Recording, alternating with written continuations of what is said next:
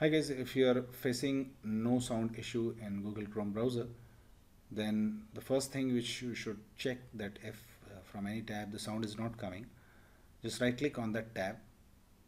And now if this option is there, unmute site, just click on it so that it gets unmuted, okay?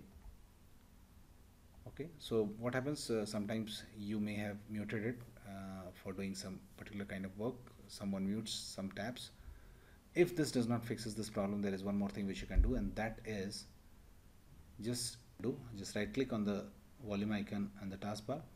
Now click on open volume mixer and make sure the under the Google Chrome this is not muted. If it is muted just move it up okay based on your preference just unmute it.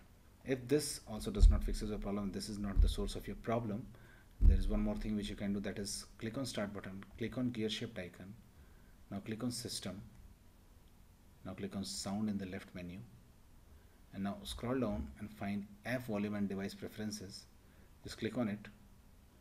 And now in the Google Chrome just make sure if this is by default does not work for you try to uh, change it to speaker headphone okay?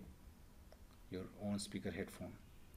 And see if it works or not okay? This is for input for uh, using microphone on the browser but this is for the output. This you listen sound from this. So see if it works or not or change it to default and see if it works or not.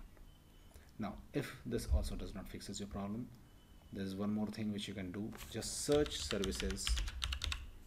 Now click on services to open service manager.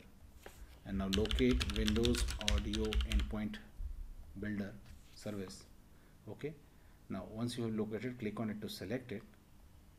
And now in, uh, in the left section just click on restart the service. Okay? Click on yes